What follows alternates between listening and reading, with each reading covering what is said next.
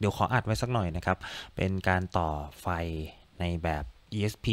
32 Arduino นะครับ ใส่โค้ดเข้าไปแล้วก็เปิดปิดไฟ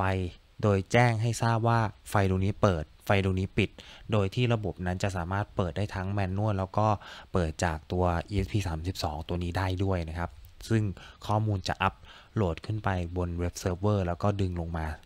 ใส่เข้าไปกับมือถือ อันนี้คือวิธีการต่อแบบแรกนะครับ เดี๋ยวจะหาวิธีการต่อต่อไปให้มันเหมาะกับผมมากที่สุด แต่ตอนนี้มาดูกันว่ารูปแบบแรกผมทำยังไงนะครับ ซึ่งผมจะลองจากไฟ 0.5 โวลต์ก่อนนะครับ ก่อนจะไป 220 โวลต์ 220 โวลต์อันตรายนะครับ ก็ยังไม่มั่นใจในฝีมือตัวเองเท่าไหร่ จึงใช้ 0.5 โวลต์ก่อนนะครับ ซึ่งผมจะใช้ตัว ESP32 อีกตัวหนึ่งในการจ่ายไฟออกมานะครับ ก็คือเขียนโค้ดแล้วก็ใส่ ใส่ไฟจ่ายเข้าไป ก็จะเป็นไฟออกมาล้วนๆเลย 0.5 โวลต์ออกมาล้วนๆเลยนะครับ แล้วก็ผมไม่ได้ต่อตัวแปรผันอะไรใด ๆ ทั้งสิ้นนะครับ แล้วก็ตัวสวิตช์นี้ก็เปรียบเสมือนในรูปนะครับ ก็คือเป็นสวิตช์ทั่วไปเลยของที่เราใช้กันนะครับ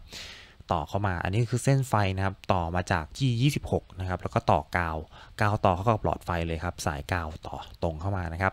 สายหลอดไฟผมจะคำนิยามคำง่าย ๆ ของผมก็คือนักลบขาสั้น ฝั่งไหนที่เป็นขาสั้น นั่นคือฝั่งลบนะครับอันไหนที่เป็นขายาวคือบวกนะครับนักลบขาสั้นนะครับนักลบขาสั้นตัวนี้ก็คือต่อกาวเข้าไปเลยปุ๊บแล้วก็ต่อไฟ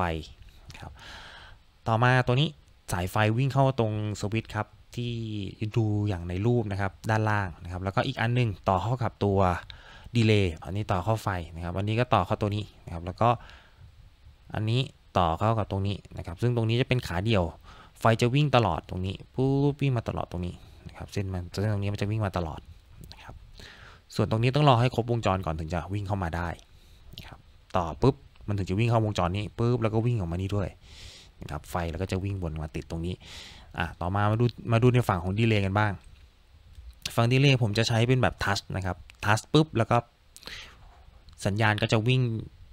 เข้าไปตรงนี้เลยนะครับ แล้วก็ต่อ 5 โวลต์ต่อกาวปกตินะครับ สั่งปุ๊บดีเลย์ทำงานปุ๊บ